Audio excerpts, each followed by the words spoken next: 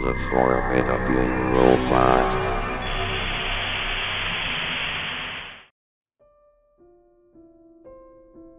On July 11, 2019, Baby TV was unexpectedly hijacked by an anonymous person that currently isn't identified.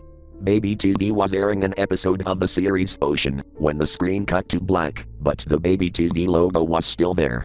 Red text appeared saying, Oh, those babies crying because their favorite show was interrupted. How sad. Well, fuck it. Those babies shall cry even more, because they are absolute maggots, and they'll never make it in life. It then showed a distorted red face.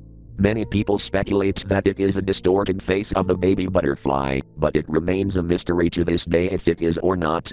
A voice spoke, saying, Revenge for you will happen on March 17, 2020. Get ready for the day to come. A distorted, staticky, yet extremely slowed down scream played for about 3 seconds before the screen cut to static. On July 12, 2019, the channel came back, perfectly normal.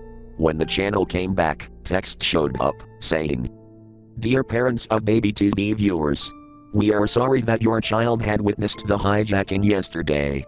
We have officially taken stronger measures to make sure that another one of these hijackings will never happen again to our lovely TV channel.